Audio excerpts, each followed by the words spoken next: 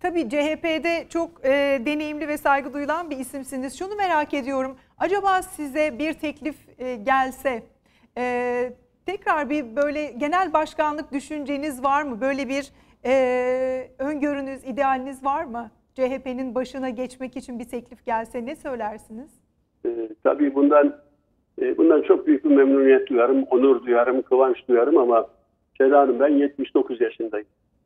E, yaşım 79. Ama Ee, yani Sayın Kılıçdaroğlu da 77 değil mi? E, Herkes kendisini değerlendiriyor. Ben kendimi değerlendiriyorum. E, e, 79 yaşındayım ve genel başkanlık için e, bu yaşın uygun olduğu kanısını taşıyorum. Pekala. Ee, şimdi bir yandan da CHP içerisinde yaşananlar e, ve belediye yani yerel seçimler içinde Sayın Mustafa Sarıgül ile ilgili e, bazı haberler var. E, İstanbul Büyükşehir Belediyesi'nde e, aday olması fikrine nasıl bakarsınız? Gerçi Ekrem İmamoğlu olmalı dediniz ama e, Evet. eğer e, gelişmeler çok farklı seyrederse Sayın Sarıgül'ün ismi için ne düşünürsünüz?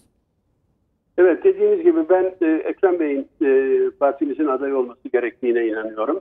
E, ve e, bir kader kilitlenmesi diyorum. Yani alternatifi düşünmemek gerekir. Aslında Ekrem Bey için de kader kilitlenmesi Seda'nın.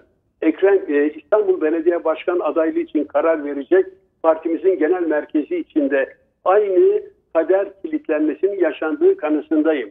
Yani parti genel merkezi de Ekrem Bey aday göstermek zorundadır. Böyle bir zorunluluk olduğu kanısını taşıyorum. Tabii genel merkeze e, böyle bir e, e, şeyi empoze etmek için söylemiyorum. Ekrem Bey'e de bunu empoze etmek için söylemiyorum. E, ama e, bana göre doğrusu bu. Böyle olduğuna göre bunun alternatifini düşünmenin de çok bir gereği yok Sedat.